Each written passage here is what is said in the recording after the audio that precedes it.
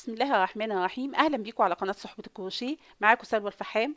بيسعدني ويشرفني دايما متابعتكم ليا على القناه وبتمنى من ربنا التوفيق في كل شيء بقدمه لكم بإذن الله. آه، النهارده إن شاء الله هنشتغل مع بعض شنطة باستخدام طقم جلد. الطقم مكون من إيد. الإيد دي حوالي طولها 70 سم تقريبا. وكمان في قاعدة للشنطة بالشكل ده. يعني القاعدة دي لو شفنا الأبعاد بتاعتها هنا حوالي 27 الطول وهنا العرض حوالي 13 سم يبقى الطقم مكون من الإيد أهو والقاعدة وكمان في شرشوبه كده أهي شكلها جميل قوي. وهنا آه، في اتنين كبسونة عشان نقفل الشنطة من فوق.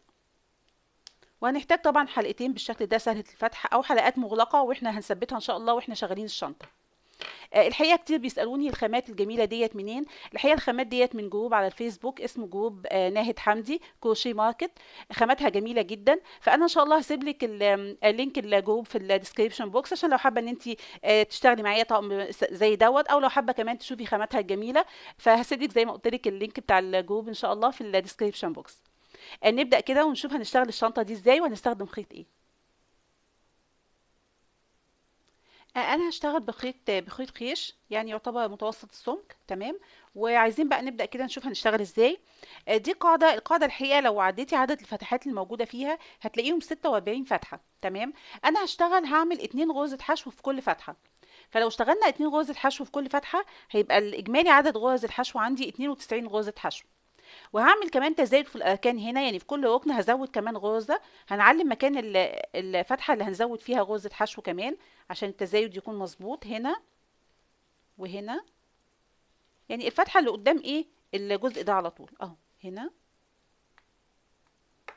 وهنا كمان. تمام؟ بالشكل ده.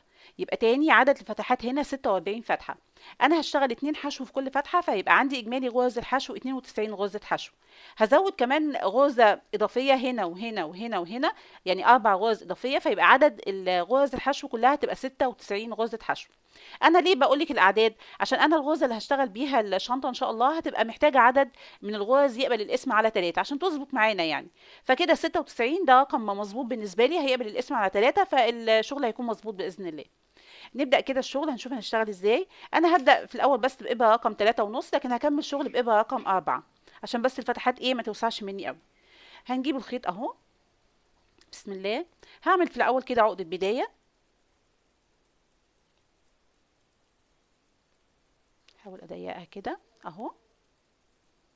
هبدأ من أي آه، مكان هنا مثلا. هبدأ من هنا مثلا أهو. هبدأ وأعمل في كل فتحة اتنين غرزة حشو. هبدأ هنا وأسحب الخيط كده. هيبقى عندي لفتين على الإبرة. بلف الخيط وأطلعه من اللفتين ودي كده أول غرزة حشو عندي. تمام؟ في نفس المكان كمان غرزة حشو. والخيط ده هاخده معايا وأنا شغالة السطر التاني إن شاء الله. كده عملنا اتنين غرزة حشو في الفتحة اللي بعدها برضو اتنين غرزة حشو واحد. اتنين. الفتحة اللي بعدها اتنين حشو. واحد. اتنين. وهكذا. هشتغل الشنطة كلها. لا سوري مش كلها طبعا. هنبدأ بس لغاية ما نوصل للعلامة اللي إحنا معلمينها. كده اهو كل فتحة اتنين حشو. واحد. اتنين. شايفة إزاي؟ هكمل لغاية ما اوصل للعلامة الأولى هنا. وصلنا هنا للفتحة اللي أنا معلماها الأولى اللي قلت لك هعمل فيها تزايد. تزايد يعني هعمل بدل اتنين بدل اتنين حشو هعمل تلاتة. خلي بالك معايا اهو هنا. بسحب الخيط كده وبريحه كده عشان إيه ما يبقاش مشدود. كده اهو. واحد. في نفس المكان واريحه برضو كده اتنين وفي نفس المكان كمان غرزة يبقى كده تلاتة. يبقى إحنا كده عملنا في الفتحة دي تلات غرز حشو. وهبدأ تاني أكمل اتنين حشو في كل فتحة لغاية ما أوصل هنا هعمل تلاتة. وبعدين اتنين حشو في كل فتحة لغاية ما أوصل هنا هعمل تلاتة. اتنين حشو في كل فتحة لغاية ما أوصل هنا هعمل تلاتة. اتنين هنا في كل فتحة من دول ونرجع نقفل السطر ده سوا إن شاء الله. تمام كده خلصنا السطر الأول زي ما اتفقت معاكي. هنقفل السطر ده الأول إزاي؟ هنقفله بغرزة منزلقة. في أول غرزة حشو أنا كنت عاملاها أهيت بسحب الخيط من الغرزة الأولى كده ومن اللفة اللي على الإبرة. كده إحنا خلصنا السطر الأول. وبقى عندي عدد الغرز آه 96 غرزة حشو زي ما اتفقت معاكي. طيب السطر التاني بقى وده السطر الغرزة اللي هنبتدي نشتغله. آه خلي بالك معايا هنشتغل إزاي؟ هنرتفع اتنين سلسلة. واحد اتنين. هلف الخيط على الإبرة وفي نفس الغرزة دي اللي أنا قفلت فيها نفس المكان اللي ارتفعت منه هدخل كده وأسحب الخيط.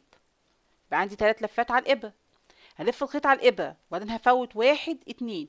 بفوت غرزتين أهم. في التالتة هنا هدخل كده وأسحب الخيط. كده بقى عندي كام لفة على الإبرة خمس لفات. واحد اتنين تلاتة أربعة خمسة.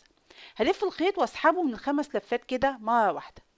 وبعدين أعمل سلسلة. كده إحنا سيبنا هنا غرزتين أهم. هرجع تاني واشتغلهم؟ هشتغل إزاي؟ بلف الخيط على الإبرة كده ومن الخلف أرجع كده من الخلف وأشتغل فوق الغرزه الأولى اللي أنا سبتها أشتغل عمود بلف الخيط على الإبرة وأرجع برضو تاني للغرزه التانية اللي أنا سبتها وأشتغل فوقيها عمود بالشكل ده. تمام؟ طيب هكرر معاكي تاني. هلف الخيط على الإبرة. دي آخر غرزه أنا اشتغلت فيها أهي. آخر غرزه اشتغلت فيها. في نفس الغرزه بدخل فيها كده وأسحب الخيط. لف الخيط أسيب واحد اتنين. هسيب واحد اتنين. في التالتة هنا أسحب الخيط. وأتأكد إن هما خمس لفات على الإبرة. ألف الخيط وأطلعه من الخمس لفات كده مرة واحدة. وأعمل سلسلة منساهاش طبعا مهمة جدا. كده أنا فوتت أهو غرزتين تحت أهم. هشتغل فوق كل واحدة فيهم عمود. بلف الخيط كده وأرجع من الخلف هنا كده وآدي الغرزه الأولى وأشتغل عمود. لف الخيط على الإبرة وآدي هنا الغرزه التانية وأشتغل عمود. بالشكل ده. تاني. خلي بالك معايا. أهي آخر غرزه اشتغلت فيها أهي. هلف الخيط كده على الإبرة. هنا أسحب الخيط. وبعدين أفوت واحد اتنين. لفيت الخيط على الإبرة وفي التالتة أسحب الخيط هلاقي خمس لفات على الإبرة لف الخيط وأطلعه من الخمس لفات كده ومنساش السلسلة أعملها. وبعدين هنا أرجع تاني للغرزتين دول بس من خلف الشغل كده. موضوع سهل جدا إن شاء الله. أهو آدي العمود الأول وآدي العمود التاني.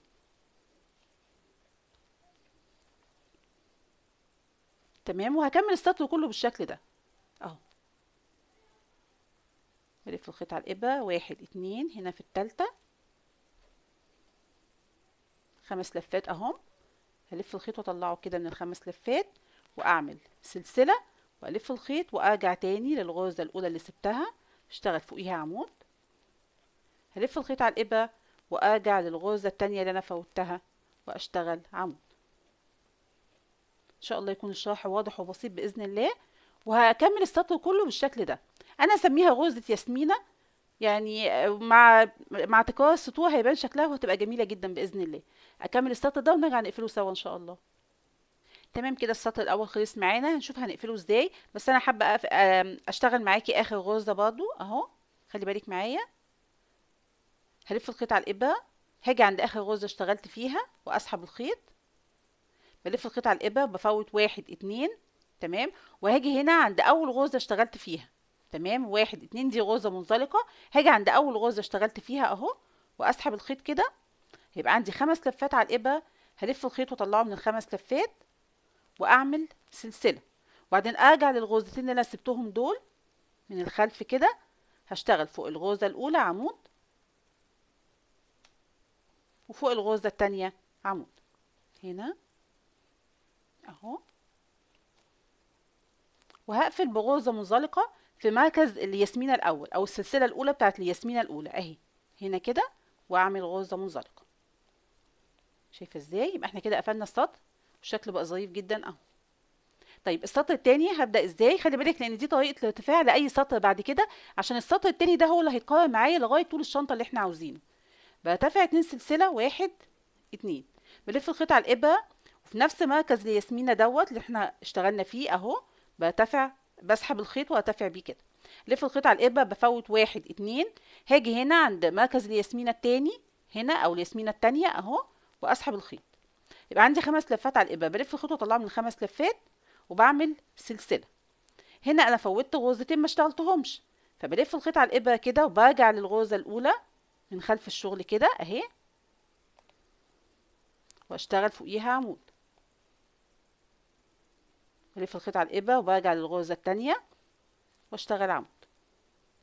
حابة تعلمي المكان اللي هنقفل فيه السطر ده إن شاء الله؟ أهو. اللي هي السلسلة اللي إحنا اشتغلناها. أهي. تمام؟ طيب أشتغل معاكي تاني. هلف الخيط على الابره هنا. دي الياسمينة اللي إحنا كنا شغالين فيها آخر حاجة. هنا باجي في المركز وأسحب الخيط. بلف الخيط على الابره بفوت واحد اتنين وعند مركز الياسمينه رقم تلاتة بدخل كده وأسحب الخيط. بيبقى عندي خمس لفات بلف الخيط وأطلعه من الخمس لفات وأعمل سلسلة. لف الخيط على الابره خلاص بقى إحنا عرفنا بنرجع تاني لل للغرزتين اللي إحنا سبناهم وبشتغلهم. بشتغل فوق كل واحدة فيهم عمود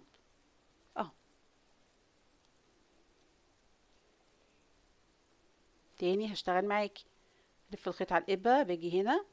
وأسحب الخيط لف الخيط على الابره بفوت الاتنين دول هنا وأسحب الخيط. هلاقي خمس لفات بلف الخيط وأطلعه من الخمس لفات وأعمل سلسلة ولف الخيط وأرجع تاني للغرزتين دول من الخلف كده شايفة إزاي؟ أهو. آدي العمود الأول بلف الخيط وهنا العمود التاني. وهكمل بنفس الطريقة دي. هكمل السطر التاني بنفس الطريقة دي. شايفة آه الشكل بقى ظريف إزاي وغرزه الياسمينة بقت واضحة وجميلة جدا زي ما إحنا شايفين كده. هكمل تمام كده أنا خلصت السطر رقم اتنين. ما تقلقيش من التقوس ده إحنا طبعا هنعدل الشغل كده بإيدينا عشان يتعدل على الناحية التانية كده. طبعا كل ما هنشتغل الغرزه كل ما إيه الشنطة تتظبط معانا إن شاء الله بالشكل ده. تمام؟ طيب أنا برضه حابة أشتغل معاكي آخر غرزه في السطر التاني عشان نشوف هنقفل إزاي. خلي بالك معايا. هنا. آخر غرزه هشتغلها معاكي بلف الخيط على الإبرة. آدي آخر مركز زي ياسمينه اشتغلت فيه برجع له تاني. تمام؟ هنا. وأسحب الخيط كده. بلف الخيط على الإبرة. هفوت واحد اتنين. دي الغرزه منزلقة خلي بالك. فإحنا كده عندنا غرزتين بس فاضلين اهم بسيبهم وأروح فين؟ أروح هنا عند إيه؟ مكان أول آه غرزه اشتغلتها. وأسحب الخيط كده أهو. هيبقى عندي كام لفه على الإبرة؟ عندي خمس لفات على الإبرة هلف الخيط واطلعه من الخمس لفات كده. وأعمل سلسلة. وبعدين ألف الخيط وأرجع تاني للغرزتين اللي أنا فوتهم. من الخلف كده أهو. أول غرزه إهي بشتغل فوقيها عمود. وآدي الغرزه التانية بشتغل فوقيها عمود. هقفل إزاي بقى؟ إحنا معلمين أهو. مركز الياسمينه الأولانية اللي إحنا اشتغلناها. بشيل العلامة وهقفل بغرزه منزلقة هنا مكان ما أنا كنت معلمة. السلسلة الأولى بتاعت إيه؟ غرزه الياسمينة الأولى. أهو بسحب الخيط من هنا ومن هنا كمان. شايفة إزاي؟ كده الشغل مظبوط والقفلات كلها إن شاء الله هتكون مظبوطة معاكي بالشكل ده. تمام؟ طيب يبقى دي طريقة قفلة كل سطر. كل سطر هنقفله بنفس الطريقة. وكل سطر القفله هتترحل غرزة ياسمينه يعني كنا بنقفل هنا السطر الأول بقى هنا السطر الثاني السطر الثالث هتلاقيها طحلت ياسمينة. هتطحل كل سطر ياسمينة. وفي نفس الوقت مش هتبان خالص مكان القفلات وهيبقى ظريف بالشكل ده. طيب السطر الثالث هرتفع إزاي؟ بنفس الطريقة برضو. واحد اتنين بلف الخيط على الإبرة هرجع تاني لنفس المكان وأسحب الخيط. بلف الخيط على الإبرة بفوت واحد اتنين وهنا غرزة الياسمينة التانية في المركز بتاعها بسحب الخيط هيبقى عندي خمس لفات بلف الخيط واطلعه من الخمس لفات. واعمل سلسلة. هلف الخيط على الإبرة أهو وأرجع للغرزة الأولى اللي أنا فوتها أهي وأشتغل فوقيها عمود. موضوع سهل جدا إن شاء الله. أهو وأدي الغرزة التانية. وطبعا حابة تعلمي مركز الياسمينة ده أو السلسلة اللي إحنا اشتغلناها دي أهي عشان هي دي برضو اللي هقفل فيها السطر ده. شايفة إزاي؟ كنا قفلنا هنا بقينا بنقفل هنا وهكذا. وهشتغل بنفس الطريقة بقى خلاص إحنا عرفنا. اهو.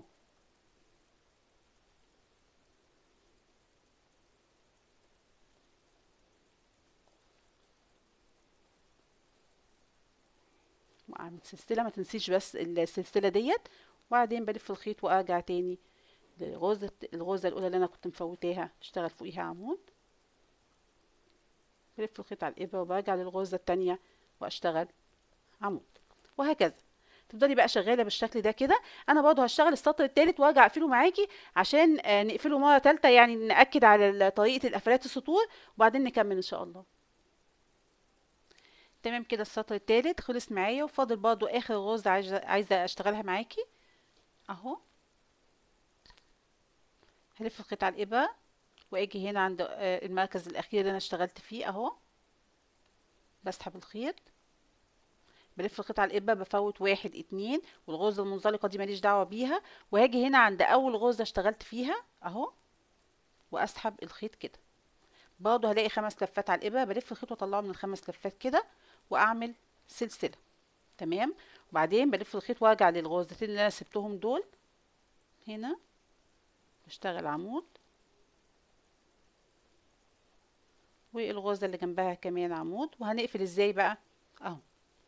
خلاص إحنا اتفقت معاكي بنقفل إزاي؟ هنا بشيل العلامة وآجي هنا وأعمل غرزه منزلقه بالشكل ده. شايفة إزاي؟ أهو. تمام؟ طيب برضو ارتفع معاكي للسطر الرابع. خلي بالك معايا. واحد اتنين لف الخيط على الإبرة. اسحب الخيط كده بلف الخيط اسيب واحد اتنين. مركز النجمة اللي بعدها أو الياسمينة آسفة. يبقى كده خمس لفات أهو. أعمل سلسلة بلف الخيط وأرجع للغرزتين اللي أنا سبتهم وأشتغل عواميد. بالشكل ده. يبقى دي طريقة قفلة السطر وبداية السطر. طبعا بتعلمي إيه؟ بتعلمي هنا السلسلة اللي إحنا عملناها دي عشان هقفل فيها السطر ده إن شاء الله أما أخلصه. وهتفضلي شغالة بنفس الطريقة دي. شايفة قد إيه شكلها جميل وطبعا ابتدت تتقوس للداخل كده. أهو بإيدينا بنظبطها بتبقى بالشكل ده. أتمنى إن شاء الله تكون الغرزه شكلها بسيط وعجبكم بإذن الله والشرح ليها واضح وسهل. هكمل بقى لغاية الارتفاع اللي أنا عاوزاه للشنطة ونرجع نكمل بإذن الله. تمام كده أنا قررت السطر اللي إحنا اشتغلناه لغاية ما وصلت للطول المناسب للشنطة يعني هنا الطول حوالي آه، بقى 25 سنتي. طبعا انت عايزة تطولي عن كده مفيش مشكلة خالص. آه، هنكمل إزاي؟ هبتدي بقى أشتغل آه، سطر من غرز الحشو. هنشوف إزاي. هبدأ هنا. أنا آخر غرزة اشتغلتها أهي. هبدأ وأرتفع سلسلة. وفي نفس المكان هعمل أول غرزة حشو. بسحب الخيط كده وبلف الخيط وأطلعه من اللفتين دي كده أول غرزة حشو. حابة تعلميها عشان ما تتلخبطيش؟ مفيش مشكلة. بعد كده فوق العمود الأول هعمل غرزه حشو. فوق العمود التاني هعمل غرزه حشو. وبعدين هنا في السلسلة اللي هي بتاعت غرزه الياسمينة دي بعمل غرزه حشو وهكذا. ابتدي أشتغل غرز حشو بالشكل ده. فوق العمود الأول هنا غرزه حشو فوق العمود التاني غرزه حشو. وهنا في مركز الياسمينة هعمل غرزه حشو. هشتغل السطر كله بالشكل ده.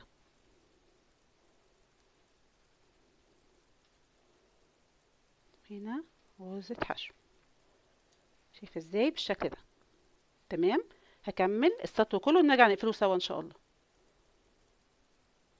تمام كده؟ أنا وصلت هنا لآخر السطر هنقفل بغرزة منزلقة في أول غرزة حشو إحنا اشتغلناها اهيت بسحب الخيط منها ومن اللفة اللي على الإبرة بالشكل ده. كده يبقى ده أول سطر من غرز الحشو. هبتدي دلوقتي ارتفع سلسلة. وفي نفس المكان في أول غرزة حشو دي أو آخر غرزة حشو قفلت فيها ابتدي أشتغل فوقيها غرزة حشو وفوق كل غرزة حشو هبتدي أشتغل غرزة حشو يعني السطر التاني كله هيبقى برضه غرز حشو.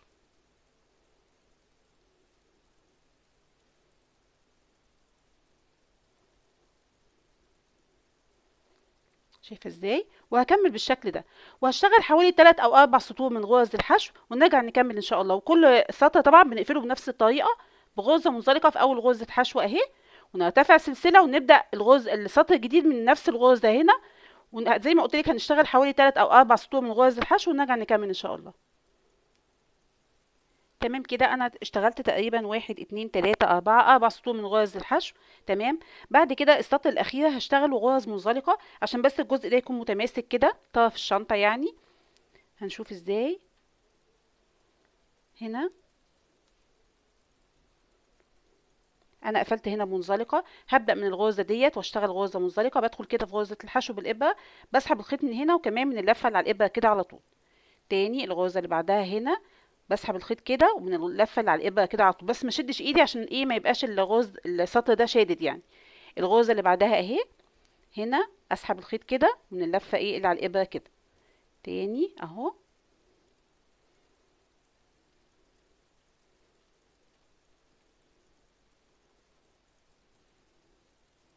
بالشكل ده شايفة إزاي؟ عشان بس الجزء ده يكون متماسك بالشكل ده. تمام؟ هكمل. تمام كده وده الشكل بعد ما خلصنا الغرز المنزلقة. تمام؟ خلاص كده إحنا خلصنا الشنطة تقريبا. هنقص بقى الخيط. وهرتفع بيه كده لفوق عشان نشوف هننهي الشغل بتاعنا إزاي. هرتفع بيه كده. وهشبكه في الإبرة إبرة التنظيف. متعودين نظبط بيها خيوطنا. أهي. خلي بالك معايا. هنيجي هنا. هنيجي هنا. دي الغرزه اللي طالع منها الخيط. أهي هسيب الغرزه دي. الغرزه اللي بعدها آجي كده بالخيط من الخلف كده. شايفة إزاي؟ أهو. واشد كده. وآجي تاني للغرزه اللي هو كان طالع منها الخيط. أهي في المنتصف هنا وأرجع الخيط ده إيه للخلف بالشكل ده. وأحاول طبعا أظبط الغرزه دي عشان تبقى إيه منسقة زي بقية الغرز بالشكل ده. شايفة إزاي؟ أهو. طبعا الخيط دوت من داخل الغرز هنضفه كويس جدا بالابره كده. هندخله بين الغرز على قد ما أقدر عشان يتثبت كويس جدا. أهو.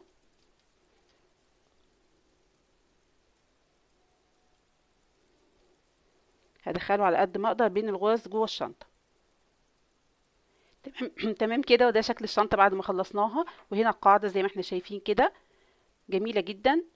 طيب كده بس فاضل إن أنا أركب بطانة للشنطة لأن طبعا يستحسن إن أنا أركب بطانة عشان خيط الخيش طبعا من جوه يبقى شكله ظريف. فهنشوف كده البطانة هننفذها إزاي وهنركبها إزاي إن شاء الله. علشان نقص البطانة في الأول بنعمل آه القاعدة. شايفة إزاي؟ يعني ممكن قبل ما تبتدي تشتغلي على القاعدة اللي إحنا اشتغلنا عليها بتاعة الشنطة تاخدي مقاسها وتقصي عليها قطعة آه قماش من البطانة بالشكل ده. شايفة إزاي؟ بنفس المقاس بتاع إيه؟ بتاع القاعدة. وبعد كده هتقيسي المحيط بتاعها تقيسي الدوران بتاعها ده كله كده وتقصي قطعة مستقيلة بطو... مستقيمة بطول الشنطة. شايفة إزاي؟ وت... وتسرجيها أنا هنا حتى سرجتها كده أهو. يعني مش شغالة على المكنة ولا حاجة. سرجتها مجرد سراجه عادية جدا. تمام؟ يبقى انت قبل ما تشتغلي الحقيقة أنا نسيت أقص فبعد ما اشتغلت عملت القطعة دي وظبطتها على القاعدة. لكن انت ممكن قبل ما تشتغلي على القاعدة تقصي قطعة قماش كده أهي. وزي ما قلت لك هتقيسي المحيط بتاعها وتشتغلي قطعة مستقيمة تقصي قطعة مستقيمة من الخيط نفس من القماش وت... وت... وتسرجيها هنا. وطبعا في النهاية هنا القطعة برضو إيه بن... بنشبكها مع بعض كده. وبعدين هنتني جزء من فوق كده. بالشكل ده. ونبدأ بقى إيه نظبط كده البطانة. ون... وندخلها في الشنطة بنفس الشكل ده. يعني الشنطة أهي كده. إحنا هنجيب البطانة أهو. وهندخلها كده. بنفس إيه الشكل كده. طبعا نحاول نظبطها. هتلاقي القاعده مظبوطة على القاعدة بالظبط أهو. شايفة إزاي؟ مجرد إن انت بس تظبطيها وطبعا هنسرج القاعدة إزاي؟ من هنا كده.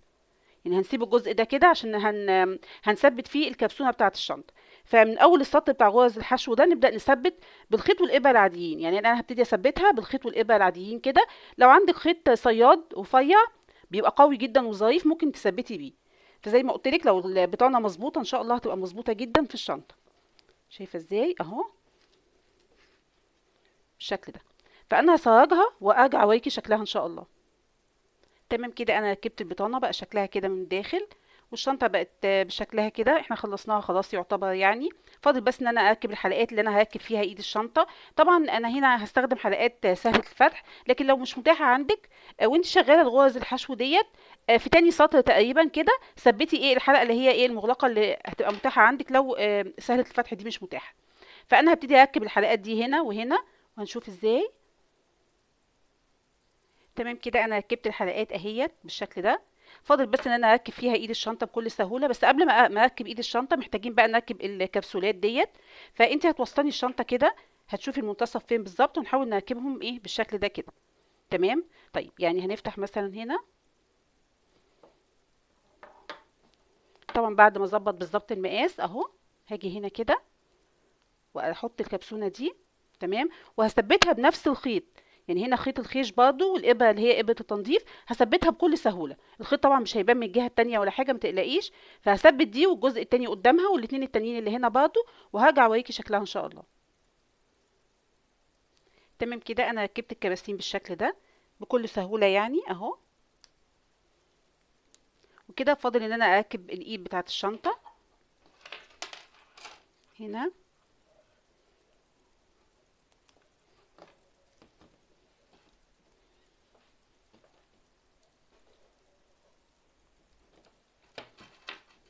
وكمان الشاشوبة.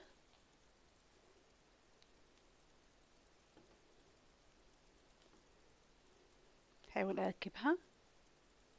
تمام كده وخلصت الشنطة معانا. هي شنطة سهلة وبسيطة جدا جدا. آه الميزة فيها الحقيقة خيط الخيش الحقيقة شكله بيبقى مميز جدا. كمان شك... آه خفيف جدا يعني الشنطة خفيفة جدا رغم إن هي تعتبر كبيرة جدا برضو. يعني أنا حاولت أشيل فيها حاجات شالت حاجات كتيرة جدا الحقيقة. مناسبة جدا لفصل الصيف. آه أتمنى إن شاء الله إنها تكون عجبتكم. شكرا ونتقابل بإذن الله على خير في فيديو جديد. والسلام عليكم ورحمة الله وبركاته.